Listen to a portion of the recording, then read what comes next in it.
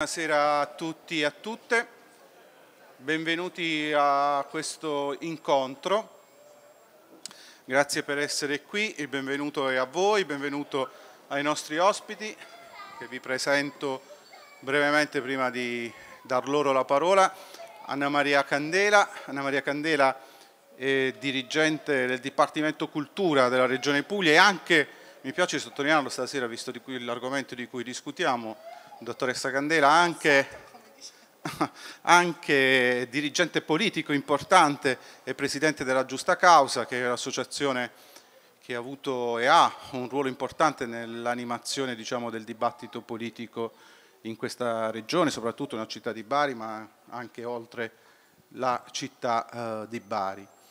E il nostro ospite, qui alla mia sinistra, che è il professor Pier Giorgio Ardeni, che è l'autore del libro che presentiamo, che è questo libro rosso, rosso Le classi sociali in Italia oggi, pubblicato dalla Terza. È un libro che è uscito due settimane fa, no? 15 giorni fa, e a mio giudizio è un libro importante. Sono molto curioso di vedere come uh, il mainstream, la cultura italiana, politica e anche scientifica e intellettuale accoglierà questo lavoro. Questa è una curiosità, credo, anche sua, professore, ma è mia particolare perché è un libro che in, reintroduce, che riporta all'attenzione del dibattito politico e culturale un tema che sembrava ormai, sembra ormai superato, obsoleto, vetusto, quello delle classi sociali diciamo, la misura di questa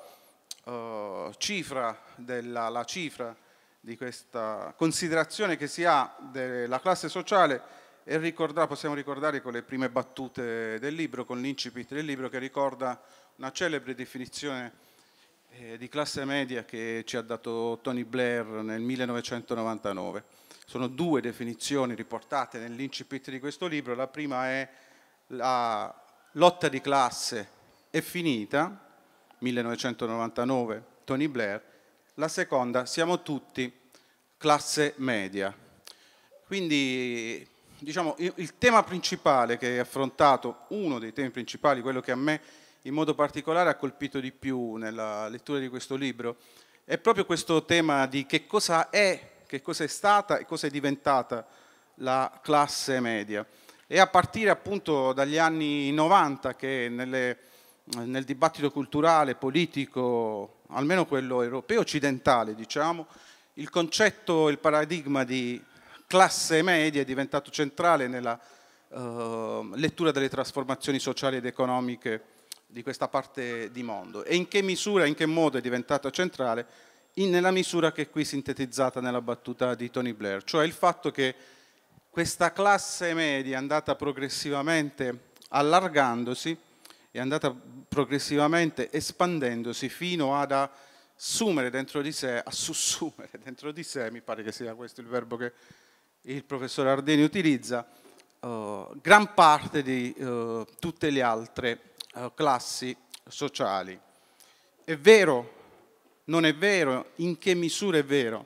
Questo è uno dei temi che il libro tratta. Non voglio diciamo, anticiparvi troppo della riflessione proposta dal professore Ardeni, ma eh, è una delle domande che ci accompagnerà in questa chiacchierata di questa, di questa sera. In un quadro più complessivo che è quello dello um, scarso utilizzo ormai della categoria stessa di classe sociale. Il libro esce dalla terza ed è implicitamente ed esplicitamente ricollegato a un classico di 50 anni fa, sempre pubblicato dalla Terza, che è saggio sulle classi sociali di Silos Labini, che all'epoca fece uh, discutere tantissimo nel nostro paese, sia dal punto di vista politico che da quello scientifico-culturale. Ed è un richiamo esplicito da parte del professor Ardeni a quel volume e a quell'analisi di Silos Labini il punto di partenza di questa riflessione. Una riflessione che si arricchisce anche di mm, una serie quantitativamente importante eh, di dati. È sempre difficile in un libro di questo tipo mettere tanti numeri, ma i numeri in questo caso più che negli altri casi sono davvero importanti. In appendice ci sono delle tabelle statistiche eh, molto eh, interessanti.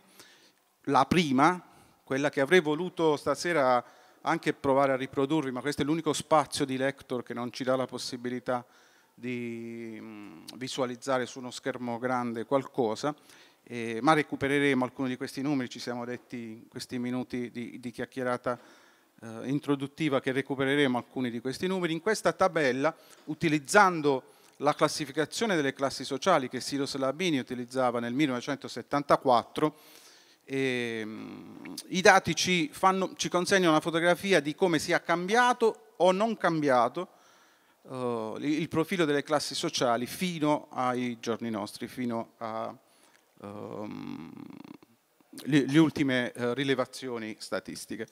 Eh, in questo contesto si inserisce naturalmente un tema eh, caro alla Fondazione di Vagno, caro al Lector, eh, che caratterizza sempre diciamo, tutte le eh, nostre presentazioni e il lavoro più generale, culturale della Fondazione, che è il rapporto con la politica.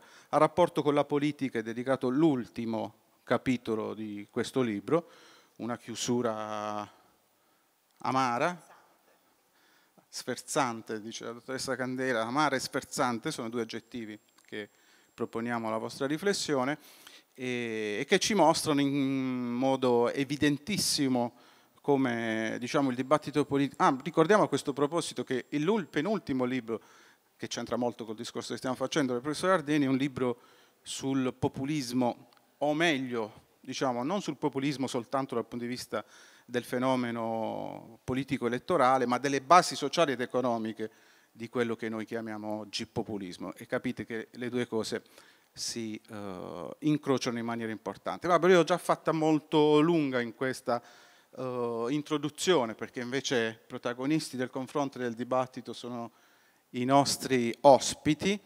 E prima di dare la parola al professor Ardeni, chiederei ad Anna Maria, chiederei alla dottoressa Candela di dirci come ha letto questo tema uh, della classe media, della crescita esponenziale della classe media e del fatto che a un certo punto uno dei leader della sinistra, laburista riformista, come la volete definire, eh, d'Europa ha detto che la classe media ormai aveva definitivamente assorbito ogni altra classe sociale.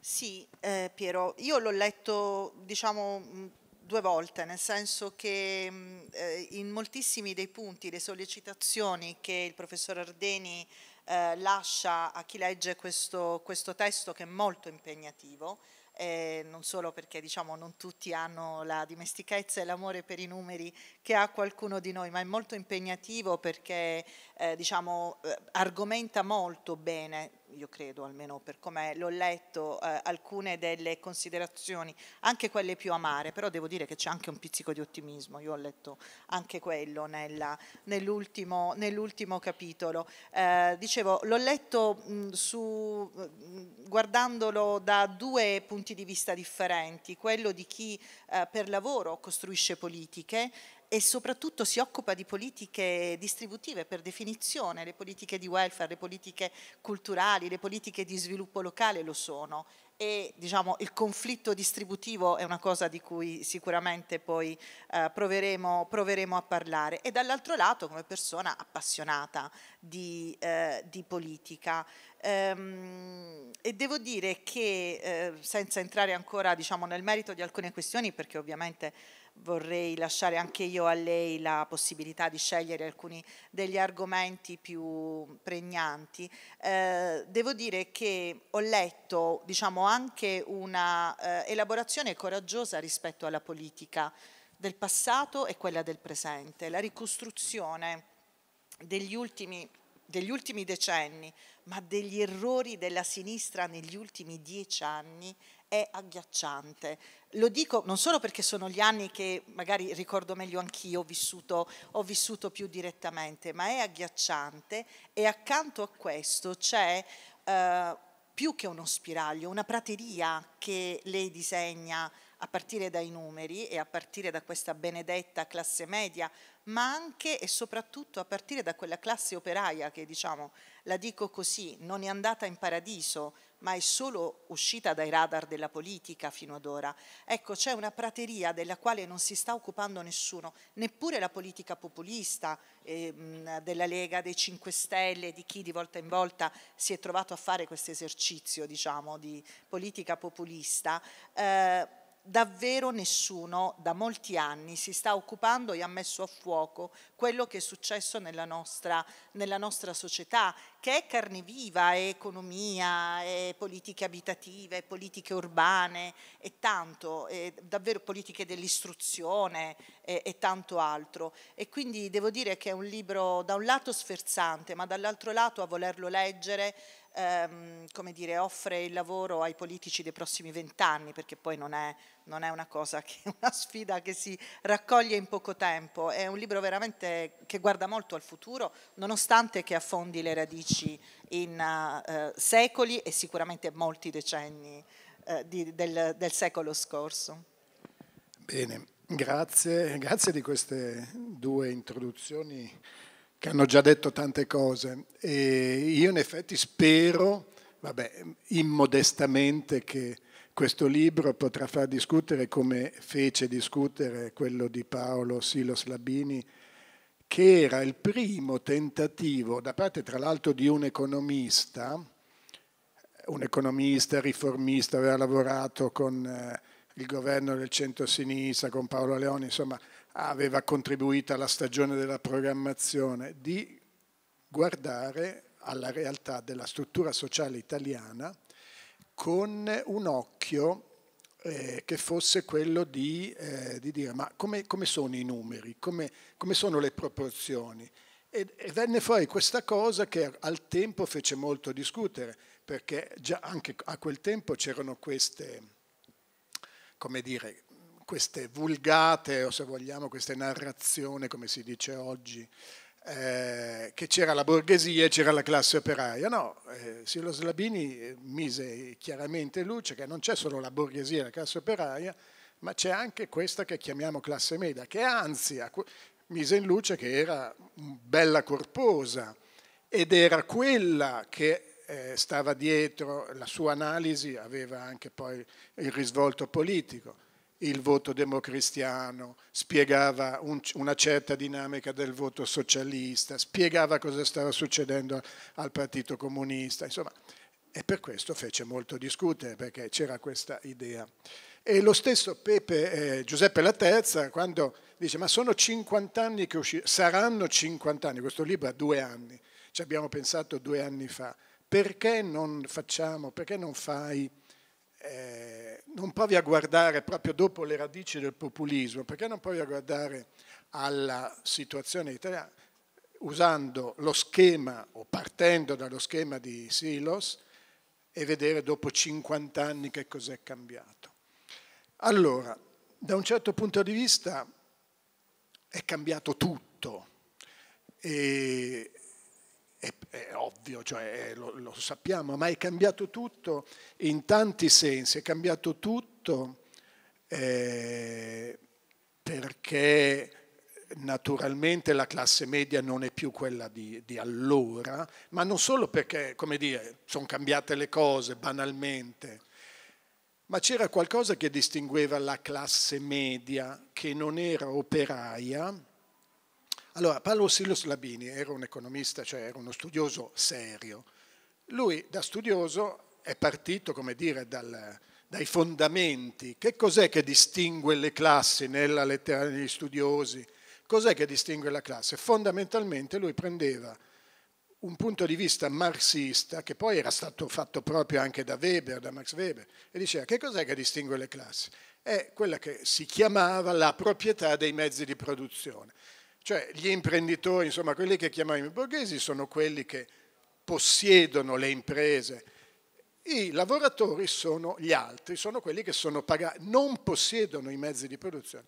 Però dentro c'è appunto questa, non ci sono solo come dire, i proprietari e gli operai, ma c'è anche questa classe che non si riconosce negli operai perché sono o impiegati o sono classe media autonoma, cioè non sono i grandi imprenditori, sono i piccoli, sono i piccoli artigiani, ma sono anche so, dagli idraulici a tutte le categorie di lavoro autonomo, i commercianti, sono tutte queste figure che non sono i grandi borghesi, ma non sono nemmeno gli operai.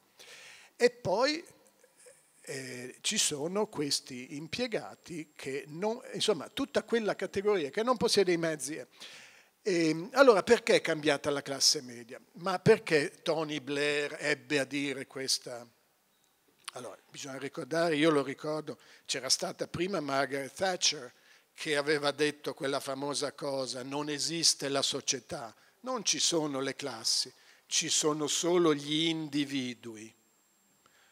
Eh, però eh, è stata, è stata decisiva perché è stato l'inizio della fine di quel modo per la sinistra di ma come? Non ci sono le classi. E infatti si arriva a Tony Blair. Per, no, la guerra di classe è finita, siamo tutti classe media, era la risposta da sinistra a questo discorso, non ci sono più le classi. Ma era la risposta sbagliata. A parte che non lo, non lo, diciamo solo oggi, lo si poteva dire già allora che era la risposta sbagliata, perché la lettura di Tony Blair partiva da un dato che poi è il motivo per cui per tutti questi anni non si è più parlato di classi, cioè si confonde il tenore di vita, fino anche il reddito, con invece una condizione che non è quella del reddito, ma è quella occupazionale. Io posso anche avere un reddito mediamente alto, ma se io devo fare qualcosa che mi dice il mio superiore, sono comunque un dipendente, cioè non dipende dal reddito la condizione di classe. La condizione di classe è qualcosa d'altro del reddito. Allora, siccome effettivamente dagli anni 60 fino agli anni 70 e 80 era aumentato il reddito, il tenore di vita medio diciamo pure per l'80% della popolazione. Allora, sulla base di questa considerazione, sì, abbiamo tutti, allora siamo tutti classe media, sì, ma non sono, e, e lì si viene al dunque delle classi. Da, tu, da quegli anni, fine anni 70-80, fino, fino, diciamo pure ai primi anni 10 del, del nuovo secolo, e in parte fino ad oggi, è prevalsa questa narrazione per cui, siccome abbiamo tutti un livello, un tenore di vita più o meno omogeneo, non ha più senso parlare di classi. Certo ci sono i super ricchi, lo sappiamo, e certo ci sono i poveri, ma i poveri sono un incidente, no? c'era questa idea, sono quelli che, insomma, fino a che però è cambiato anche qualcos'altro ha cominciato a permeare il discorso pubblico, il discorso, e qui anche il discorso della politica, questa idea che, come dire, in uno slogan si può dire è colpa del neoliberismo. Al di là della, che cos'è la fondamentale ideologia, cos'è che caratterizza fondamentalmente l'idea, come dire, eh, cruciale eh, alla radice del neoliberismo?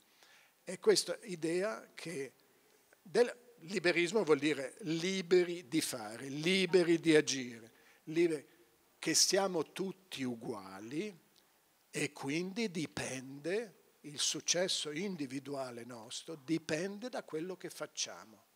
Questa idea del merito. No, siamo tutti uguali, siamo tutti classe media, quindi abbiamo tutte le stesse possibilità e se non ce la facciamo è colpa nostra l'abbiamo interiorizzato al punto che il merito è diventato una questione individuale. Non ce la fai, tuo figlio non ce la fa, è colpa sua.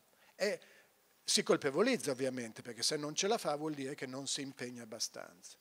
Eh no, poi quando andiamo a guardare i numeri, e poi scusatemi, qui siamo in Italia meridionale, il figlio di un operaio dell'Italia meridionale non ha le stesse opportunità del figlio di un operaio dell'Italia settentrionale.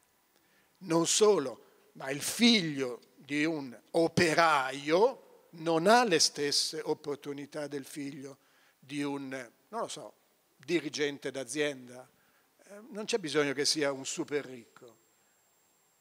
perché non è così.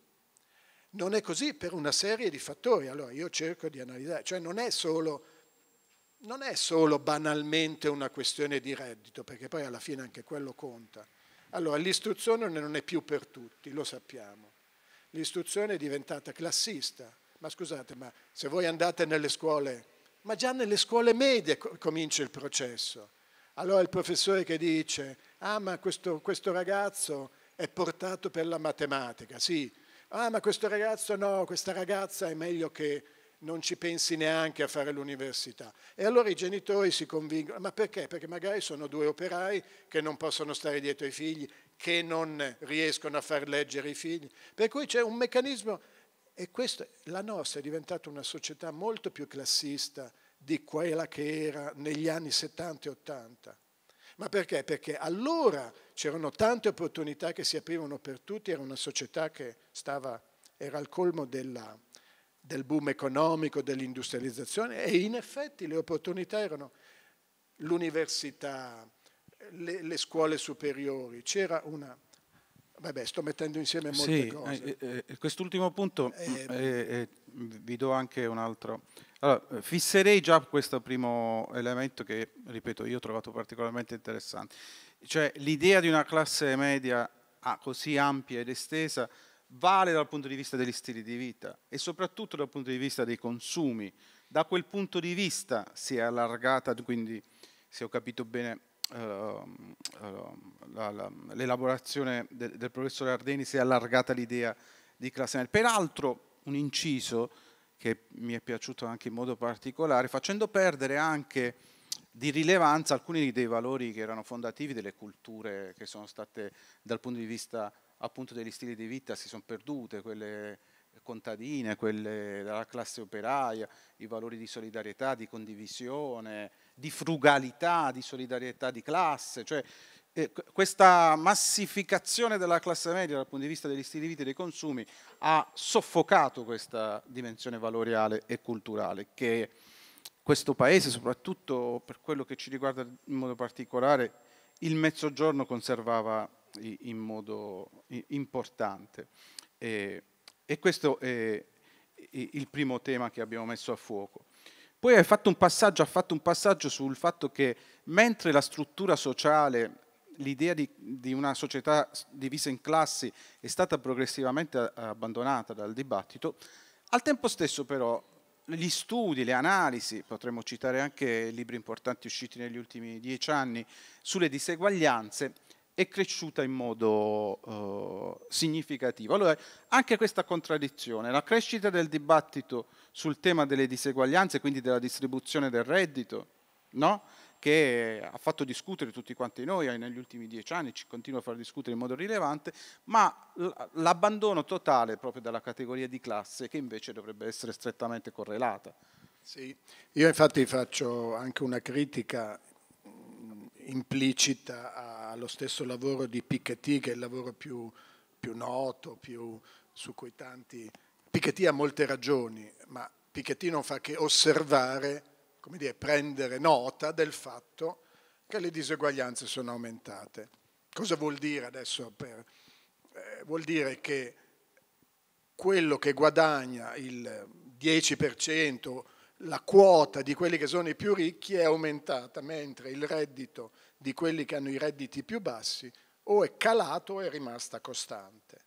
Quindi il divario tra ricchi e poveri è aumentato sono aumentati i ricchi, vabbè, perché questo è l'argomento eh, che eh, alla fine, perché i conservatori, ma questo argomento è un argomento che trova consensi anche, come dire, tra i non conservatori, perché non si fa niente? Per... Ma perché si, si ha questa idea, se noi lasciamo liberi gli individui di agire, allora vedete ci saranno i Bill Gates che dal nulla diventano... Eh, in effetti i cinque eh, più ricchi uomini degli Stati Uniti sono persone che avevano genitori di classe media, ma sono diventati ricchi. Allora vedete, questo è l'esempio di come, no, ma il numero delle persone ricche è aumentato, sì, forse è aumentato, ci sono molti più milionari e miliardari di un tempo, ma è aumentato moltissimo anche il numero dei poveri. Quindi, allora sì, le diseguaglianze, ma da dove vengono queste diseguaglianze? Perché alcuni diventano più ricchi e altri invece no? E Piketty dà una spiegazione. Sì, si diventa più ricchi se si ha del capitale. Ora, è vero, il capitale cosa vuol dire? Avere dei... Noi lo sappiamo, la classe media in Italia è quella classe che è riuscita, ad esempio, ad avere un appartamento di proprietà. Questo è capitale. E in effetti la proprietà di un'abitazione in Italia è abbastanza diffusa, che confermerebbe che c'è una classe. Questo è il capitale. Allora, il capitale rende, quindi dà un reddito, ma però se noi guardiamo i numeri, chi diventa ricco sono quelli che hanno molto capitale. E perché? Perché il capitale rende. L'economia si è finanziarizzata, insomma ci sono stati tutta una serie di processi. Ma invece il reddito da lavoro, ma se voi guardate ai redditi da lavoro, il reddito da lavoro è rimasto quello, non è cresciuto, addirittura in alcuni casi è rimasto quello proprio nominalmente, ma anche il mio stesso stipendio, se io, io faccio il professore universitario, io se vado a guardare la mia busta paga di quando io ho cominciato all'università non era mica molto diversa, o la busta paga di un professore ordinario, cioè è cresciuta di pochissimo, mentre quella... Allora perché? Perché i ricchi sono ricchi? Non è che Bill Gates è ricco perché il suo stipendio è aumentato. Il lavoro, il, lavoro, il reddito da lavoro non è aumentato.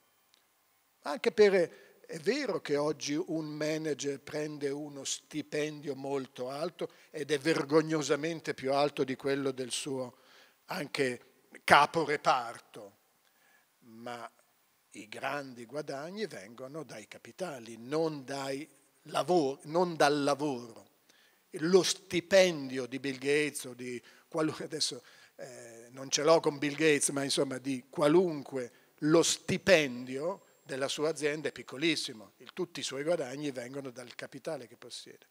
Ora, questo discorso, sì, le diseguaglianze sono aumentate, ma cosa, cosa manca?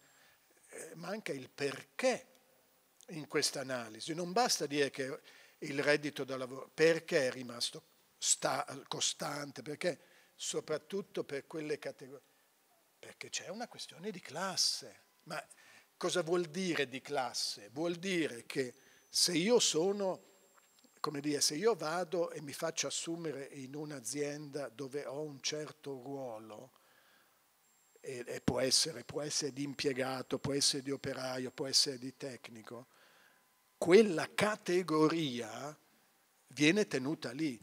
E questo noi sappiamo, è un meccanismo che funziona a livello complessivo. I livelli degli stipendi non è che li stabilisce il singolo imprenditore, poi certo ci sono delle, delle, delle, dire, delle compensazioni a livello di azienda, ma sono tendenze di lungo periodo. Perché è stato possibile perché è stato possibile? Guardiamo indietro, perché è stato possibile nell'Italia progressista, l'Italia degli anni, non lo so, parliamo, l'Italia dell'ulivo, l'Italia, perché è stato possibile che il livello dei salari rimanesse quello e invece il livello dei compensi, dei manager salisse e continuasse a salire? Perché c'era una contrattazione che gli imprenditori hanno vinto. E perché l'hanno vinta? Perché c'è stata una contrattazione, è stata una questione di classe, cioè non è stato un fatto, eh, ma cosa vuol dire? Non è questione di buoni o cattivi.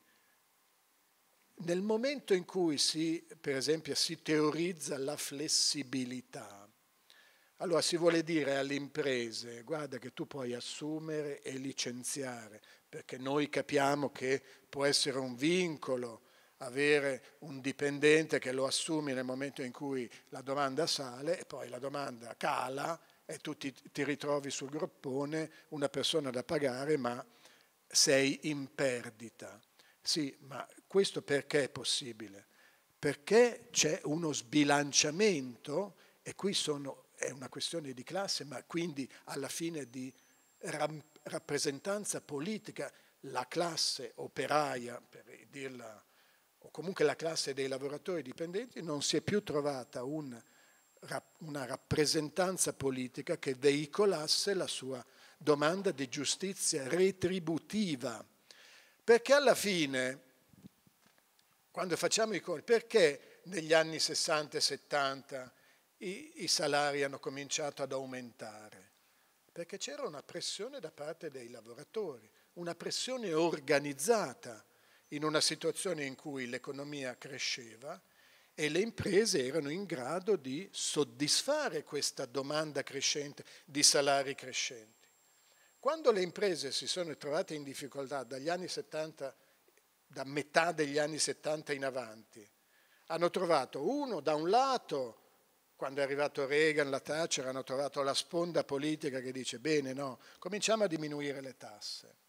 Dall'alto c'è stata invece la spinta perché i sindacati hanno cominciato a difendere l'occupazione. Era questo il dato principale. Difendiamo l'occupazione e quindi tra difendere l'occupazione e difendere il salario un compromesso e qui è stato.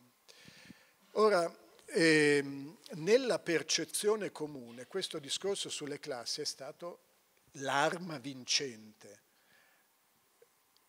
perché le sinistre, ma in generale da quelle riformiste a quelle più radicali, hanno perso di vista il loro referente, che dovevano essere le classi popolari. Allora, se c'è una ragione di esistere per questa distinzione tra destra e sinistra, no, non ce n'è un'altra, oggi soprattutto. Non ci sono più le ideologie, va bene, ma cos'è che dovrebbe distinguere destra da sinistra? La destra dovrebbe avere, ma non parlo di fascisti, eh, parlo di una destra conservatrice, la destra dovrebbe avere questa idea di una società basata sull'iniziativa individuale, la sinistra invece dovrebbe essere quella che si rende conto che l'iniziativa individuale ha dei seri limiti che sono dati dalla condizione di origine, perché non ci si può fare niente. Se io nasco eh, sui monti della Basilicata o della Calabria ho una condizione diversa da quella eh, del, del, figlio di un, un, impiegato a Milano. È una condizione diversa di origine. Allora la sinistra dovrebbe avere questo no, di, di riferimento. Alla fine è questa condizione individuale che è quindi una condizione che non è solo dovuta all'iniziativa, alle opportunità. Ah, perché siccome siamo tutti classe media, allora se tu non ce la fai è perché non hai. No, non è più questo. C'è ancora questo elemento che alla fine, poi certo è di classe, che vuol dire di condizione sociale. La condizione sociale del lavoratore dipendente, operaio, eh, eh, è ancora una condizione subalterna. Poi, le, eh, to, forse, torniamo a questo discorso, le classi medie sono cambiate. Le classi medie sono cambiate, ma in che senso sono cambiate? La classe media, ai tempi dei Silos Labini, il libro esce nel 74, i dati sono del 71-72, era una classe composta per metà da impiegati, nell'accezione più ampia, c'erano gli insegnanti, c'erano eh, so, i lavoratori della sanità, c'era tutto quel ceto di, di dipendenti pubblici, eccetera. E poi c'erano i lavoratori autonomi. Cos'è che rendeva, qual era uno dei, dei modi per accedere alla classe media? Era il titolo di studio il titolo di studio negli anni 60 e 70 fu una formidabile leva di mobilità sociale. No? Cioè mobilità sociale cosa vuol dire? La possibilità di cambiare ceto, eh, classe. I miei genitori sono operai, io studio, posso andare a fare l'impiegato. I miei genitori sono contadini, io posso andare in città e fare l'operaio. Cioè, questo era dovuto alla, al titolo di studio che poteva essere la scuola media, poteva essere la scuola superiore, eh, fu un grande veicolo di mobilità sociale. Nel tempo, e questo si diceva, ah, questa è, è l'evoluzione delle società capitalistiche, bene, positivo, che cosa? La società si evolve, da industrializzata diventa terziarizzata, no? l'avete sentita questa, questa storia? Eh sì, la, i servizi, eh, la, la, le, le, fabbriche diminuiscono di importanza, sempre meno la manifattura eh, aumenta. Ma cosa vuol dire poi in pratica? Vuol dire che diventiamo tutti dipendenti pubblici? No. Vuol dire che diventiamo tutti commercianti e artigiani? No.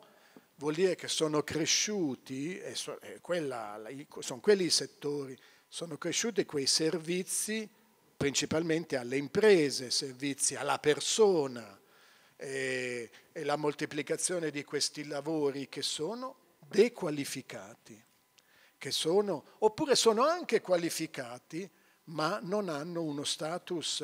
E quanti, e quanti giovani hanno pensato negli anni recenti, ah sì, la laurea in informatica o comunque studio informatica e vado ad aprire la, la, la, l'impresina che fa il software, che fa, i, eh, che fa non lo so, queste cose in, in qualche modo legate alla start-up, il, la precarietà però c'è dietro, c'è la precarietà di un, di un settore che volutamente è cresciuto in modo destrutturato, in modo eh, dove i contratti di lavoro eh, sono sempre più precari, ma sono, lo sono, come dire, lo sono di natura, non, non c'è necessariamente una volontà, come dire, io non voglio dipingere i padroni come, come si dipingeva un tempo, come i cattivi che, che, vogliono sfruttare i lavoratori, ma questo è il meccanismo, è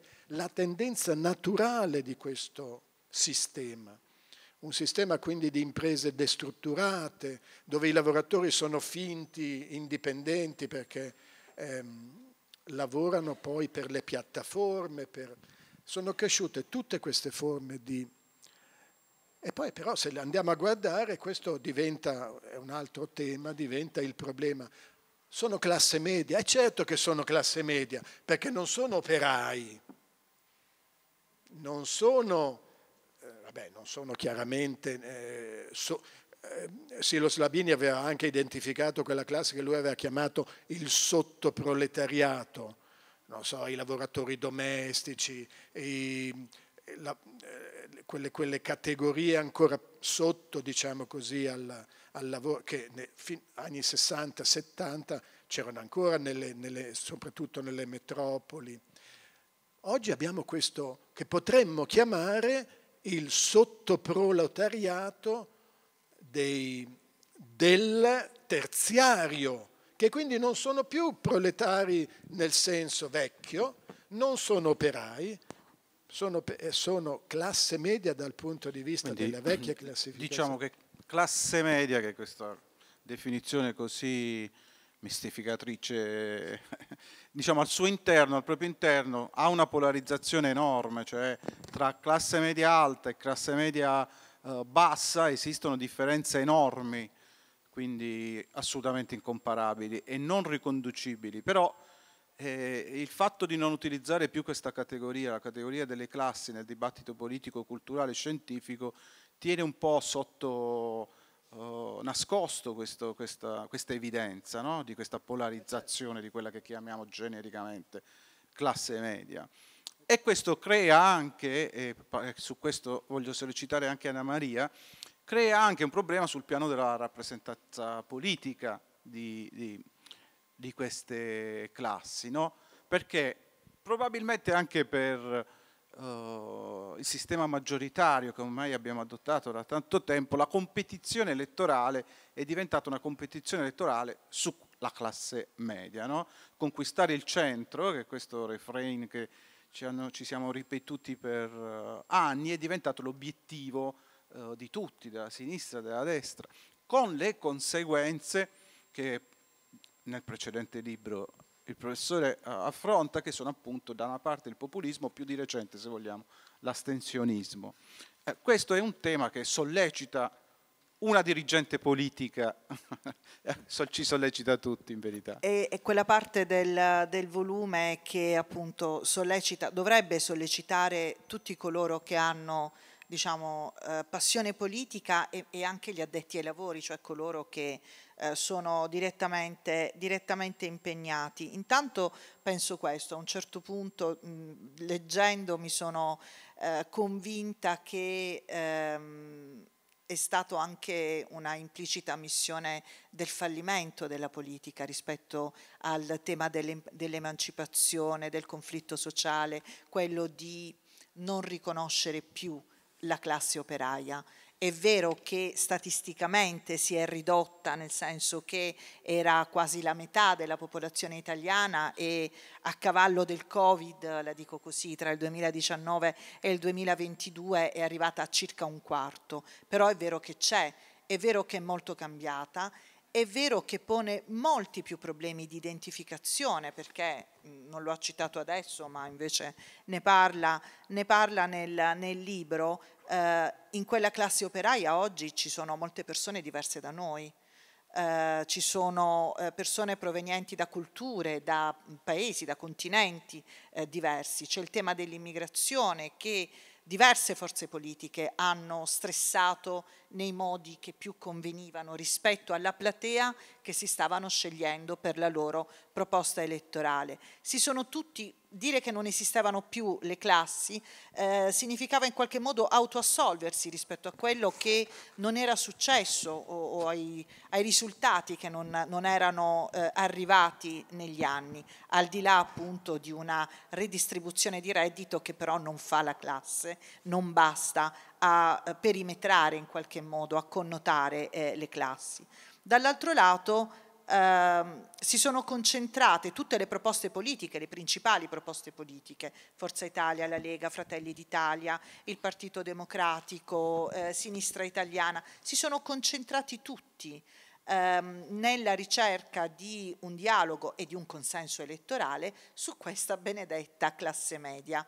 Eh, anche riconoscendo, io credo che nella proposta politica di, eh, di, queste forze, 5 Stelle non li ho citati, ma ovviamente sono parte di, questa, di questo ragionamento, ehm, anche eh, riconoscendo invece all'interno della classe media delle profonde differenze. Gli interlocutori di Salvini nella classe media non sono gli interlocutori adesso della Schlein o prima eh, degli altri leader eh, del PD.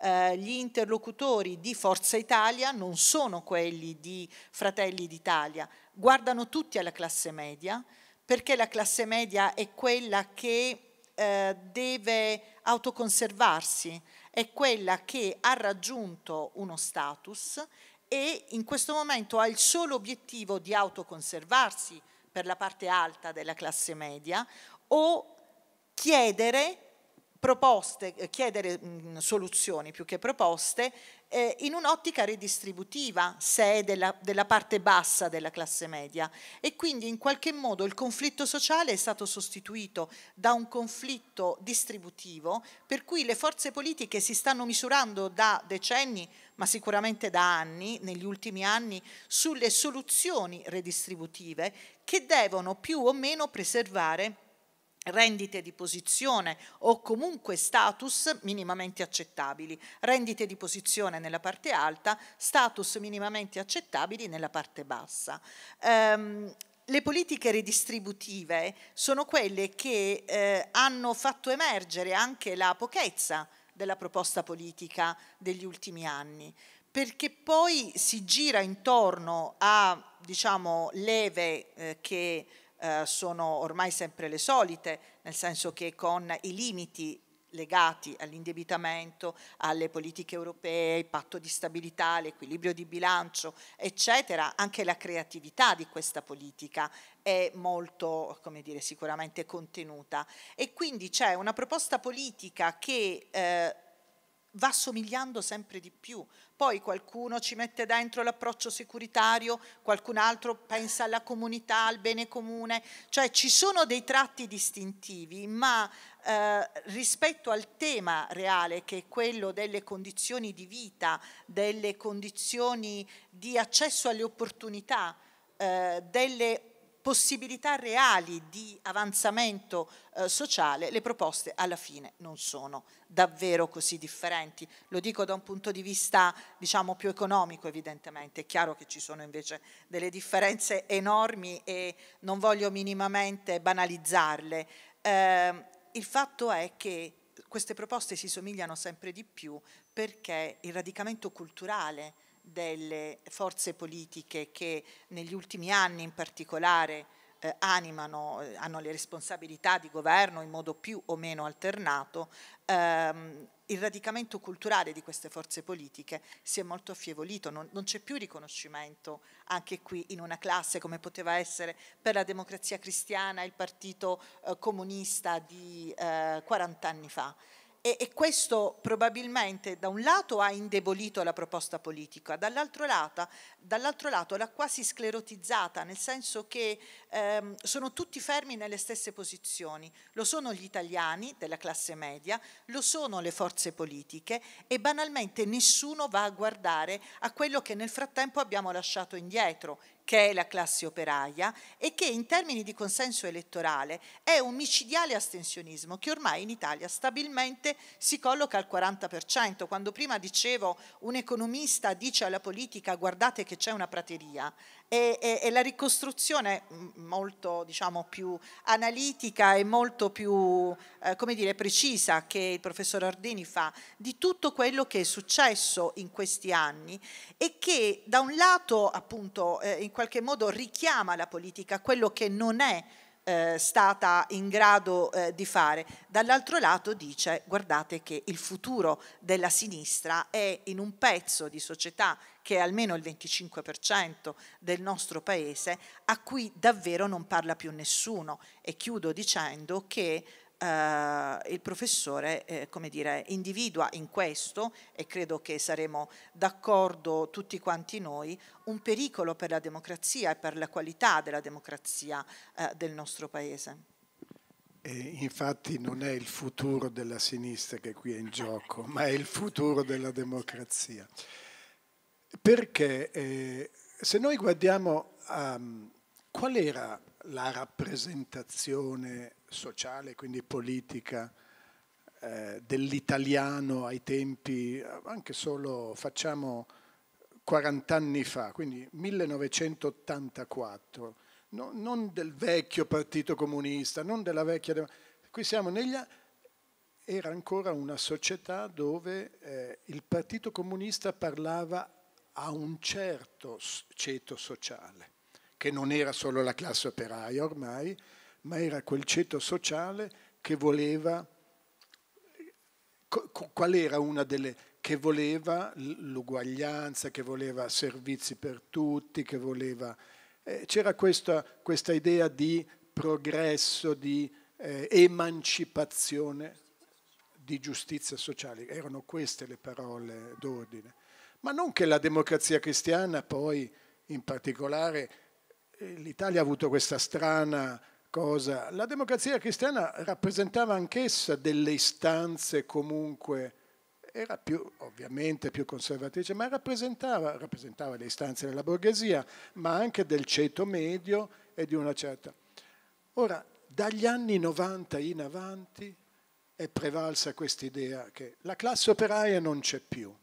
Adesso semplifico perché questo processo è stato graduale siamo tutti ceto medio e allora il problema quale diventa? Non, più, non c'è più il conflitto sociale, ovviamente se non c'è più la classe operaia, siamo tutti ceto media, eh, non ci sono più i presupposti, allora si, tutto si, si, sposta sul piano dei diritti.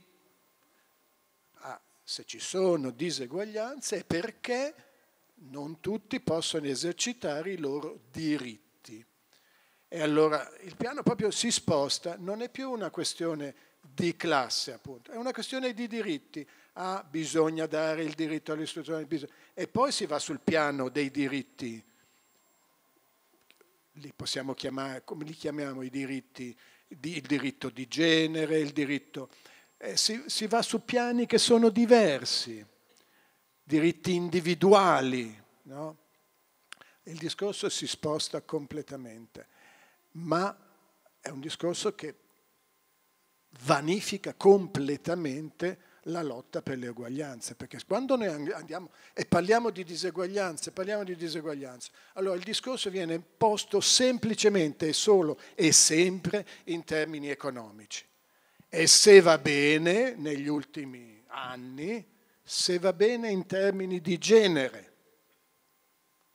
Cioè, il discorso sulle diseguaglianze si ferma lì. Non sentirete mai che differenza c'è nel messaggio politico tra sinistra italiana, PD, ehm, eh, non lo so, la Lega, prende Movimento 5 Stelle, il loro referente, il loro linguaggio qual è?